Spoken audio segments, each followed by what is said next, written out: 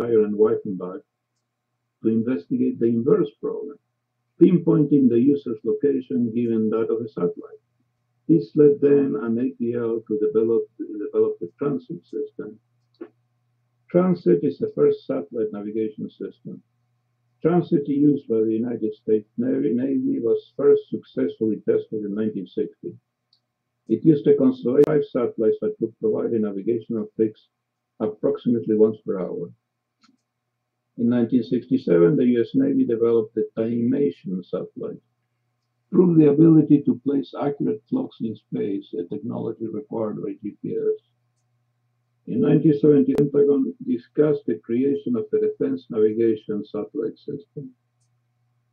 It was, the, it was at this meeting where the synthesis that became GPS was created. Later that year, the GNSS program was named Navstar, a navigation system using timing and radiating. With the individual satellites being associated with the name Navstar as uh, with the present predecessor, a more fully encompassing name was used to identify satellites, meaning Global Positioning System, or GPS. 10 Block 1 prototype satellites were launched in 1978 and 1985. An additional unit was destroyed in a launch failure. One of the key uh, items that was initially addressed, again, very accurate timekeeping is a must, is the relativistic effects. The relativistic effects, fortunately, are bias errors. You will know in engineering that you have two fundamental types of errors, which are bias and which are random. Random errors are measured and addressed in a statistical fashion that would have been uh, very difficult if the relativistic uh, errors were in fact uh, random errors. They are in fact uh, bias errors that can be. The special relativity predicts 7 microseconds per day and the general relativity predicts 45 microseconds per day. Onboard atomic clocks tick at 1 nanosecond a combination of general and special relativity indicates that clocks in the satellite should tick faster. And the clock adjustment is in fact there at 38 microseconds per day. Um, the computation is not that simple. The computation actually is done by use uh, precise uh, equations the Schwarzschild solution to Einstein's field equations. And the exact relation is given in fact on the right.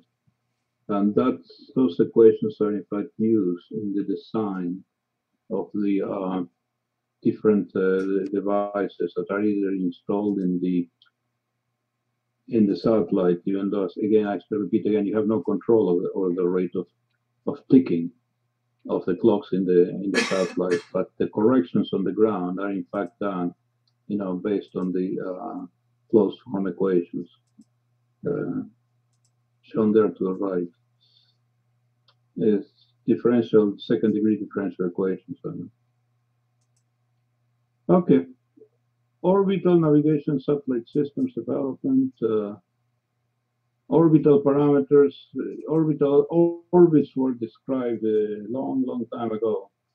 And that was before my time too, by Kepler in the 1570s to 1730. Uh, That is not correct. It's 1571 to 1630. He did not live 150 years. Uh, he was a mathematician uh, in those days. Uh, there's not many things that people can do, but it's very, very astonishing how they progressed and how they analyzed and enunciated the orbital parameters.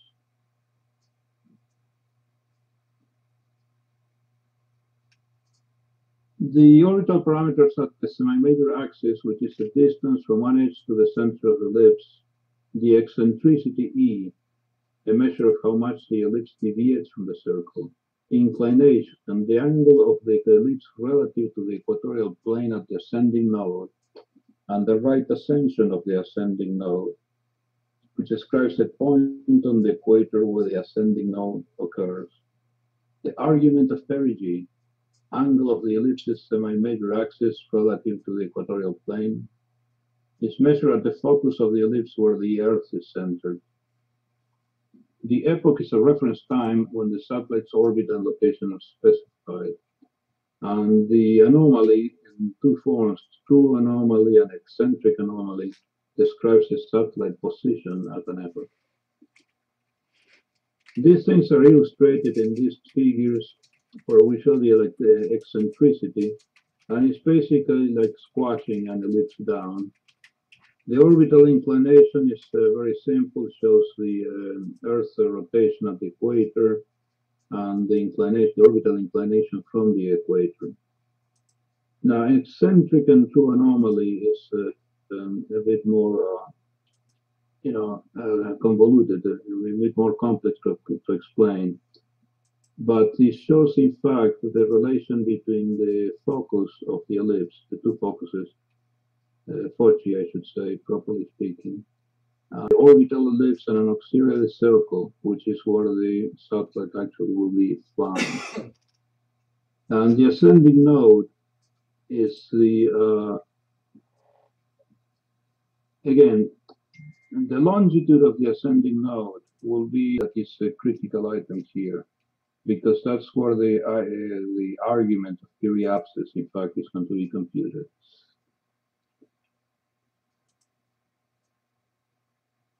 Now, satellite orbits are classified by the satellite altitude. And uh, now the, the Earth is only approximately spherical, certainly not spherical. So no single value serves as its natural radius. Now, the Earth's radius range from 6353 kilometers, and the mean radius that is usually used is 6371. Now, the three orbits are classified by distance, the distance from the Earth's surface, which, as I said, could be a bit more complex, and the distance from the Earth's center, which uh, remains constant. The high Earth orbit uh, goes up to um, 42,151 kilometers. The medium Earth orbit, it goes between 2,000 and 35,000 kilometers. And the low Earth orbit is between 180 kilometers to 2,000 kilometers. Now, a geosynchronous orbit is called geostationary orbit. It's a special case of a high Earth orbit the altitude exactly at 4,000 kilometers from the Earth center, and the orbit matches the Earth's rotation. Because the satellite orbits at the same speed, because the satellite orbits, meaning moves, at the same speed that the Earth is turning, the satellite seems to stay in place over a single longitude, though it may drift north or to south. A satellite in a circular geosynchronous orbit directly over the, the equator, eccentricity and inclination of zero, will have a geostationary orbit that does not move at all relative to the ground. It is always directly over the same place on the Earth. As we can see, the specific orbit is one critical element insofar as designing a satellite navigation system. You have a number of uh, sweet spots, and uh, this is an interesting thing that again was discovered many, many years ago. And uh, they, they're called the Lagrange points. At the Lagrange points, the pull of gravity from the Earth cancels out the pull of gravity from the Sun. Anything placed at these points will feel equally pulled towards the Earth and the Sun and will revolve with the Earth around the Sun. The three collinear Lagrange points, L1, L2, and L3, were discovered by Leonhard Euler a few years before Lagrange discovered them. Discovered them remain the remaining two. Uh, make a long story short, you can see that the points are points. The L1, L2, and 3 is unstable. In the satellite, we'd actually move, and uh, once it moves, it will remain in the new place. The L4 and L5, it looks like the ball on a, you know, on a container that, that is curved. So if it moves, it will go back to the original place. That's a point of interest, actually. Uh, but it's not uh, that critical for our uh, for our presentation. In any case, you have the location of the points like most things uh, in engineering can be found exactly by a solution of specific equations, which I leave here, balancing gravitation and centrifugal force. And the value of R is, is certainly different uh, than L1. Okay, medium Earth orbit, uh, and this is the orbit of the GPS uh, satellites. It's a semi-synchronous orbit, which is nearly circular orbit of low eccentricity. A satellite at this height takes 12 hours to complete an orbit. That was a key key point when the system was designed. As the satellite moves, the Earth rotates on it. In 24 hours, the satellite crosses over the same two spots on the equator every day.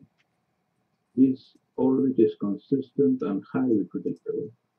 And of this, the orbit, as I mentioned in the title, is used by the GPS satellites. The Molniya orbit was invented by the Russians, and the Molniya orbit works well for observing high altitudes. The geostationary orbit is valuable for the constant view it provides. Satellites in a geostationary orbit are part of the equator, so they don't work well for far northern and southern locations, which are always on the edge of, of view for the geostationary satellites. However, the Molniya orbit is an alternative uh, that some people have used, uh, the Russian meaning. The low Earth orbit, the most scientific satellites and many weather satellites are in a nearly circular low Earth orbit. The satellite's inclination depends on what the satellite was launched to monitor. During one half of the orbit, the satellite beams side of the Earth. At the pole, the satellite crosses over to the nighttime side of the Earth. Many of the satellites in NASA's Earth observing system have a nearly polar orbit. In this highly inclined orbit, the satellite moves around the Earth from pole to pole, taking about 99 minutes to complete the orbit. In global navigation satellite systems, a medium Earth orbit was chosen. Why? Because it allows more Earth to be visible. In a 12-hour orbit, 76% coverage at 20,194 kilometers, as opposed to 8-hour orbit and a six-hour orbit at the different altitudes, 13 and 10,000. The satellite velocity at 22,200 kilometers, the horizon to horizon time gives a 12-hour orbit 4.5 hours, an 8-hour orbit of 2.7 hours, and a 6-hour orbit of 1.9 hours. The one-way communication radio frequency links radiate towards the Earth and no link communication. That's a very critical point. The uh, satellites do not receive, except for control signals, do not receive signals from the uh, locating units. Orbital period is one half the Earth's mean sidereal day, which is 23 hours, 56 minutes, and 4.0916 seconds and keeps the longitude of the ascending node within plus minus 2 degrees, which enables ground track repeatability. Again, uh, low Earth orbits are suitable for two-way communications. There was a system that was deployed in which I had some part, uh, had part in a lot of these things, but the Iridium was uh, conceived, that was the Motorola Electronics uh, division in uh, uh, Phoenix, outside of Tempe, Arizona. And it requires 77, and it was called iridium because the atomic number of iridium is 77, even though the satellites have nothing to do with the with nuclear, you know, power. And the deployed system is 66 satellites. At this point, it's different. The company was sold. Uh, it's now in private hands, and uh, still doing some form of, uh, of work.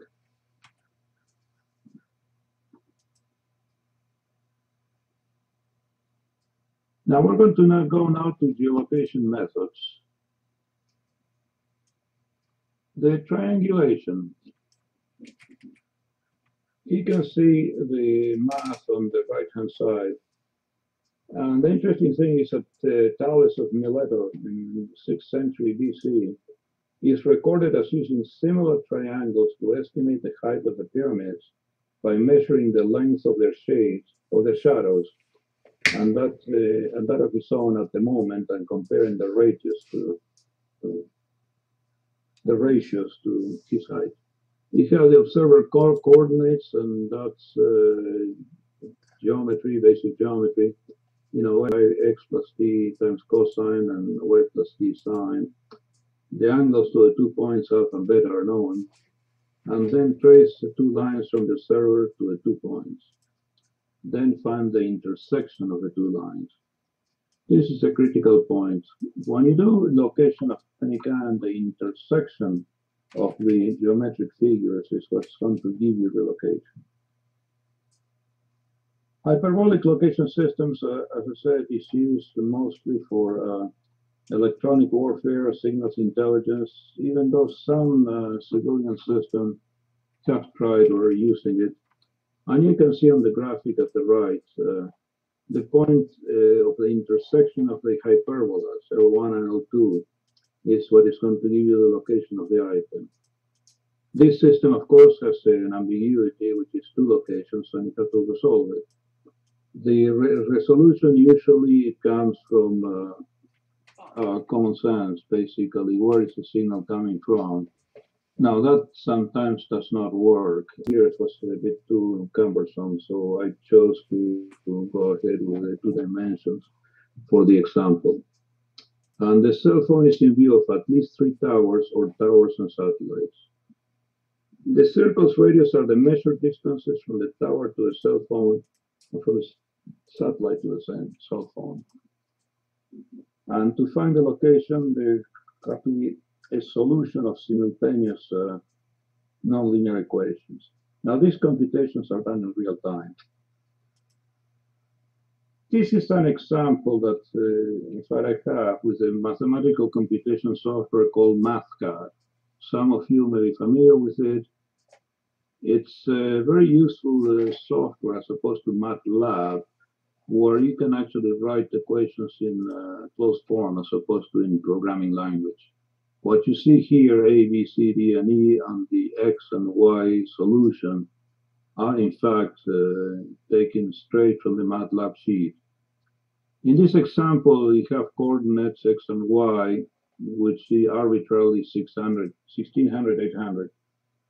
The cell position an arbitrary point in the Cartesian coordinate plane, and these are coordinates that have to find. Now, in real systems that long, the real latitude and longitude are numerically encoded.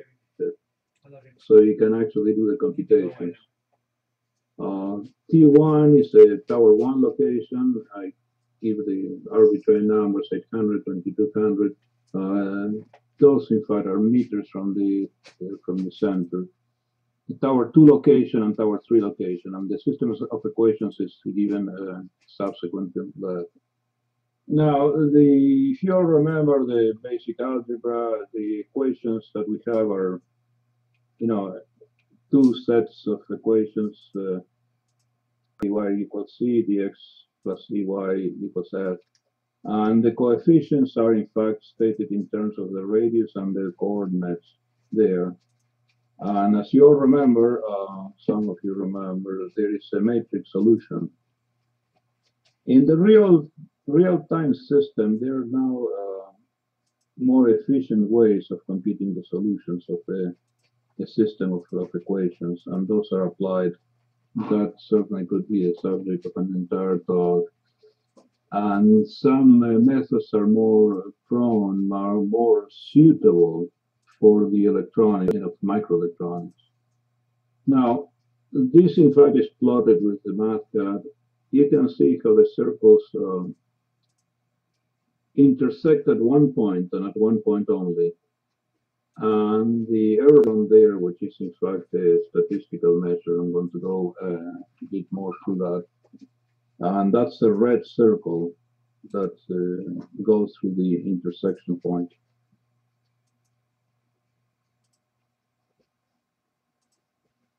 The next thing we're going to address is accuracy versus precision. We have four cases here where the true value is represented by the blue square in the center of those circles. Baby, you need to just scoot. The first uh, circle, the upper left circle, is neither accurate nor precise. The location appears all over the place. I don't know what you want. The second one uh, could be spheric effects. Uh, ionospheric can be either very small or very large. When the satellite is near the observer's horizon, the vernal equinox is near, and the sun, sunspot activity is severe. For example, the TC is maximized during the peak of an 11-year solar cycle. This uh, system varies with the magnetic activity and time of day, and the different frequencies are affected differently. Another consequence of the dispersive nature of the ionosphere is the apparent time delay for a higher frequency carrier wave it is for a lower frequency wave. In L1, which is one of the transmission um, frequencies of GPS, it's not affected as much as in L2 at 1227.6 megahertz. And L2 is not aff- affected as much as L5, which is 1176.45 megahertz. In multiple, multiple frequency receivers, which are on the market now, by tracking all the carriers, a multiple frequency receiver can model a significant portion of the ionospheric bias. Now, separations between frequencies are large enough to facilitate estimation of the ionospheric group delay.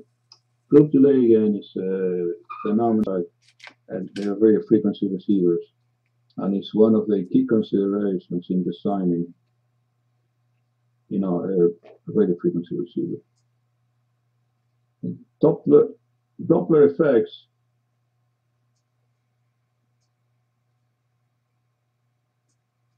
Okay. What happens if GPS goes away? There is a lot of speculation about uh, what happens a lot of questions are being asked. Uh, the uh, U.S. Defense Department, of course, has been addressing that very, very thoroughly. And uh, however, some of these uh, conversations have, were made public. And the one I'm reproducing here is from the Draper Labs. And he stated, in fact, last year that there will not be a single substitute. There will be a need for multiple solutions or operating at the same time. I do have to make a clarification here. If you go to a, something that has been uh, mentioned many times, the detonation of nuclear uh, weapons, of very high power nuclear weapons over the atmosphere, will eliminate all radio wave propagation. In that case, uh, substitutes are not going to work. However, the Pentagon is spending tens of billions of dollars on a new constellation of more secure GPS satellites stronger anti-jam signal in anticipation for a future, of future conflict. But even as the military is counting on a modernized GPS to be more resilient to electronic atta- attacks, it is eyeing alternative yet vital positioning, navigation, and timing data, just in the case GPS is denied. Draper has made non-GPS navigation and timing a central part of its business. And in addition to celestial, celestial tracking technologies, just developed inertial navigation systems, precision time transfer using optics and chip scale, atomic vision-based navigation that relies on cell phone cameras and signal processing algorithms. Each one of those points is a lecture in itself. Uh, The Charles Stark Draper Laboratory is an American not-for-profit research and development organization headquartered in Cambridge, uh, Mass. The expertise of the laboratory staff includes the areas of guidance, navigation, and control, advanced algorithms and software, modeling and simulation, and microelectromechanical systems on multiple multi-chip module technology. is of course a spin-off of MIT. Charles Stark Draper, you know, was uh, working at that point at MIT. Now, here we have a number of uh, global navigation satellite systems. The characteristics of GPS. The GLONASS is in fact a Russian satellite system. Galileo is European satellite system. And Beidou is the Chinese satellite system. At this point, there is another satellite system uh, put up by India, the country of India, which uh, fell off the chart here. Uh, the characteristics are very similar. I do have to add now that the, uh, yes, I state here, the, there are dual receivers that work GNSS and GLONASS jointly. The Russian system and the US GNS, uh, GPS receiver, they're dual receivers. Uh, the position search system is operational, you'll know that because you probably have one in your car and each orbit contains four satellites. The signaling system is L1 with the frequency 1 is uh, 1575.42 megahertz. It's a binary phase shift keying modulated by two pseudo-random codes. CA is a coarse acquisition and P code is a precision acquisition the when the initially when initially was created, GPS has two forms: the coarse acquisition code and the precision code. The precision code is accessed through, in fact, uh, an encrypted uh, link and was designed all, only for use by the military. That uh, distinction was now eliminated, and the GPS that you use uh, gives a substantially good accuracy. It's not uh, distorted anymore. The Russian Republic, the GLONASS system is very similar. Uh, frequencies are, of course, different. And uh, the GLONASS does not use any type of selective availability. Galileo European, in fact, uh, under development, at this point is, is deployed actually. The I don't have the full uh, data on the on the Galileo. And the Compass, the Beidou China, is again under development at this point. There are some there many satellites that was in fact uh, deployed. And uh, the plan was, in fact, uh, that should be deployed in 2020. So both systems, the Galileo and the Compass, the Beidou, Beidou, however you pronounce that, it uh, should become available, fully available towards the end of 2020. They are, for the most part, on track. And India NSS is planned development constellation of seven satellites.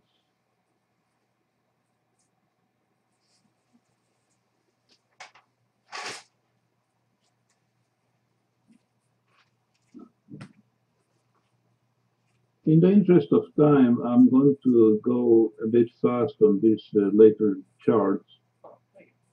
Uh, but uh, the GPS is is available for general use around the world.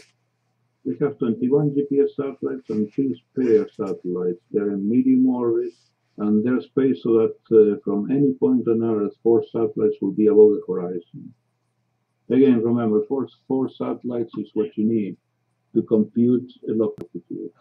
The example I gave, you need three towers to compute an actual location in two dimensions. You need uh, four satellites or towers to give the location in in a plane and in altitude as well. So that you have an intersection of uh, spheres that will give you the location. Each satellite contains a computer and and continuous broadcast.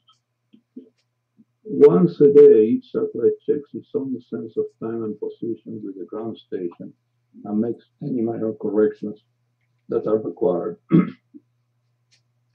On the ground, the receiver computes its own position by getting bearings from three of the four satellites.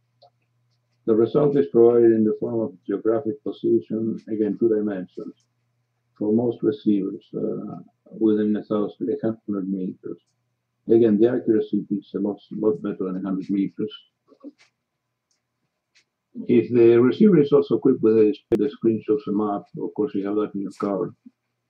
If a fourth satellite can be received, the receiver computes to figure out the altitude as well as the geographic position. If you are moving, your receiver may also be able to calculate your speed and direction of travel and give you estimated times for arrival to specified destinations. That is a very common usage nowadays. Most cars do have that facility. This is the evolution of the GPS. Uh, started with Block 2A, uh, Block 2R, Block 2RM, going to GPS 3, which is now in production. And launched in 2016. We're beyond that at this point. Uh, the companies that manufacture that, uh, some of these elements was ITT Defense, where I used to work. The uh, now it's Skyros actually that has a contract to manufacture the actual, you know, uh, GPS units.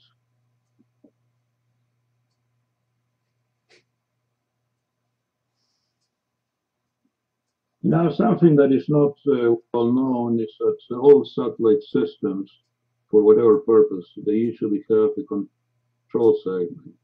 The control segment has uh, sends signals, monitors the position, makes sure that everything is okay, checks the clocks, and uh, that's all the myriad of things that you need to do with any kind of system, certainly an electronic system. And here you can see uh, what station it is in Schriever, Schriever actually, Air Force Base in Cologne, uh, where you have ground antennas in Cape Canaveral, the Air Force monitoring station, uh, alternate master control station that we needed um, the NGA monitor station.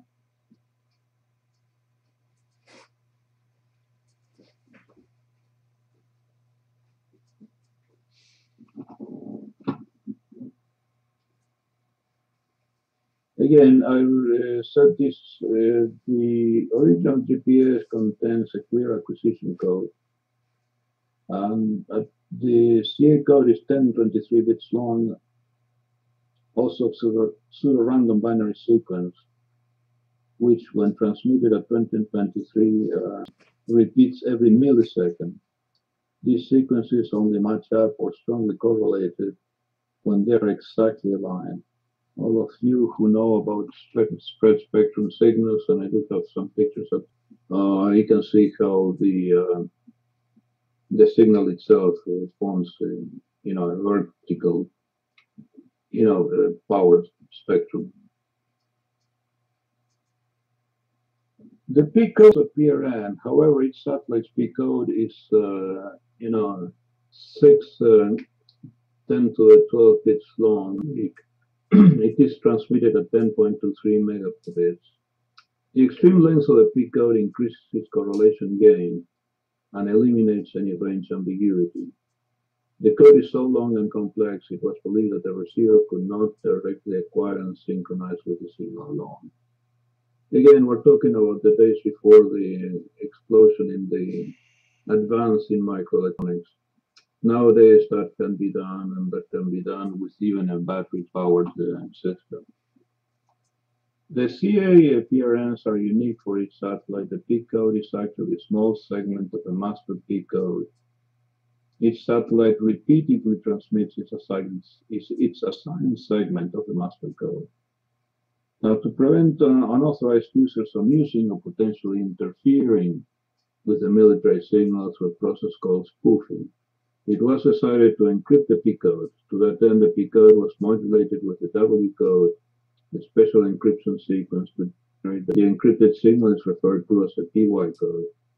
The details of the W code are secret, but it is known that it is applied to the P code at approximately 500 kilohertz. This is a slower rate than that of the P code itself, of approximately 20. Uh, I want to end, the comment there. now, the differential GPS uh, it's used to increase the receiver's location accuracy. Differential GPS was originally created to help overcome the error caused by availability in the receiver measurement. Although selective availability has ended, differential GPS is still used because its purpose of diminishing error usage. The differential GPS-enabled receiver receives data from the surface as well as signal correction data from local GPS stations. Differential GPS-enabled receiver enabled receivers are most commonly found in planes, but they are slowly becoming more common as prices continue to drop. It works by using stationary GPS locations all around the world. These GPS receivers continually calculate their own position based on information received by the satellites. The difference between the two allows these receivers to compute the error. This information is then passed along to differential GPS and using this information your GPS receiver can. In addition to the PRN roads, a receiver needs to know detailed information about each satellite position in the network. GPS has this information modulated on top of both the CA and PY ranging code codes at 50 bits per second, and it is called the navigation message. The navigation message format described here is called the LNAV data for legacy navigation. The navigation message conveys information which can be classified in three broad areas. The date and time, plus the satellite status and an indication of health. The ephemeris, ephemeris actually, orbital information, which allows a receiver to calculate the position of the satellite. Each satellite transmits its own ephemeris. And the almanac data contains information and status concerning all the satellites. Each satellite transmits almanac data for several, possibly all satellites, depending on which PNN numbers are in use. A position fix using any satellite cannot be calculated until the receiver has an accurate and complete copy of the satellite's ephemeris data. The navigation message consists of 1500 bit long frames. The subframe 1 contains the GPS date, week number, and information to correct the satellite's time. Subframes 2 and 3 together contain the transmitting satellite's ephemeris data. Subframes 4 and 5 contain components of the almanac, but each frame contains only 1 25th of the complete almanac.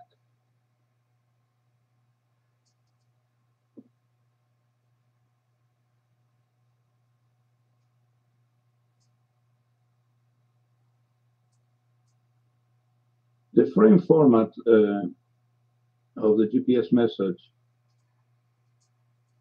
is given here. Each word includes six bits of parity.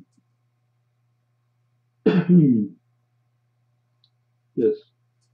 Uh, at the start at the start end of week plus an integer multiple of 30 seconds. At start end of the week, the cycling between pages is reset to page one. There are two navigation message types. LNAV L is used by satellites with PRN numbers 1 to 32, called lower PRN numbers. LNAV U is used by satellites with PRN numbers 33 to 63, called the upper numbers.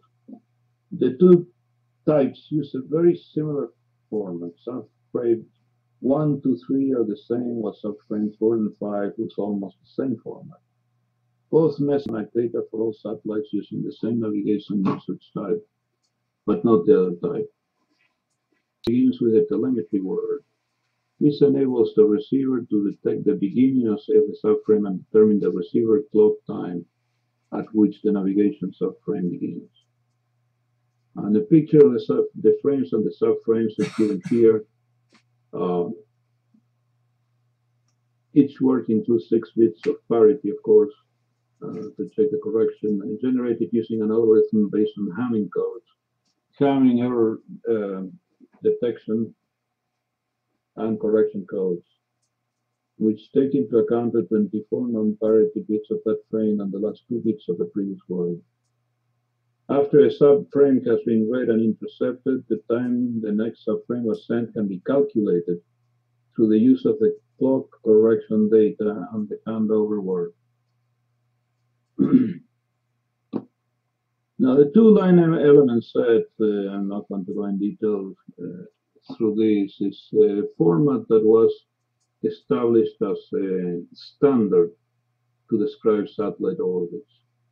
That's uh, for every satellite that is flying for whatever purpose at this point does have a two line element set, which is in fact, uh, which contains the following information.